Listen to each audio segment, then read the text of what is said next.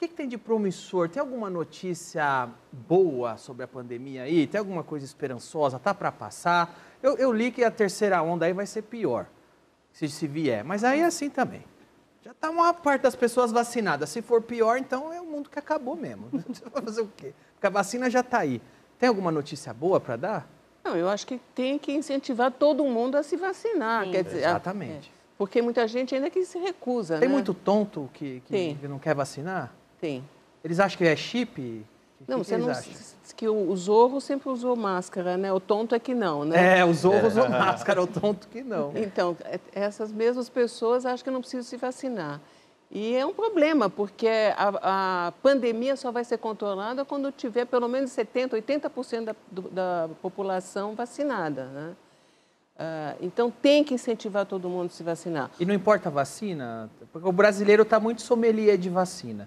Ele vai lá e fala: Não, eu quero uma Pfizer. Não, um Corona não. Eu quero a AstraZeneca. Por favor. Tem isso? Tem uma vacina que está mais forte que a outra ou todas estão. Olha, a melhor vacina é aquela que está no seu braço. Eu acho que é importante se vacinar. E os estudos preliminares com a corona, que foi a primeira que foi, estão tendo resultados muito É, positivos. eu tenho acompanhado. São, ah, foram vacinadas 22 mil pessoas no, no complexo do HC, né? todas entre janeiro e fevereiro. E eles pegaram, sortearam agora 4 mil pessoas para ver ah, os anticorpos. E 90% tinha anticorpos. Exatamente. É. E se não tem anticorpos, não quer dizer que você não esteja imune. Né? Entendi. Então, eu acho que o resultado é muito bom. De que maneira a- a- a- o negacionismo atrapalha? Quando o pessoal vai lá, não é para aglomerar, o pessoal vai lá, não vou citar nomes, né? Mas tem algumas pessoas que fazem isso. Vai lá e, e- e promove aglomeração. Vai lá e promove andar sem máscara. A troco de que alguém faz isso? O que, que- o que que alguém ganha? O que, que a população ganha? O que, que o cara ganha com isso? O- o- qual é o lucro de alguém numa pandemia falar, "Ah, não precisa usar máscara, vamos aglomerar? Por quê?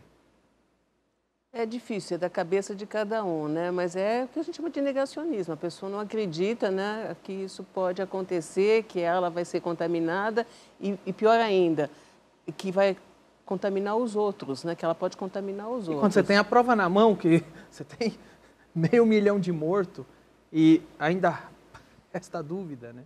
Pois é, mas são as mesmas pessoas que acreditam que a Terra é plana. É, é verdade, tem, tem essa também. Então, como é que você vai discutir com isso, não é? Ah, mesmo com vacina, porque agora, agora essa dúvida é minha, essa dúvida é minha. Mesmo com vacina, tem que continuar usando máscara? É, acho que é importante usar máscara quando você tem um resfriado também. É verdade. Os japoneses fazem isso há muito tempo, né? Eu acho que é um respeito pelo próximo, né? Você está espirrando e não ficar contaminando quem está perto de você. Então, eu acho que isso teria que ser uma coisa a ser adotada para sempre. Você está resfriado, use uma máscara, eu- respeite o próximo. Já no, no- no ori- no- no oriental sempre faz isso. Quem é vacinado ainda transmite?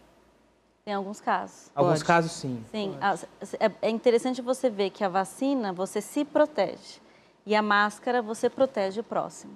Entendi. Então, tem alguns casos, mas Perfeita você pode definição. transmitir, mas é, você está seguro. Então, você usa máscara para proteger o próximo. Ótimo.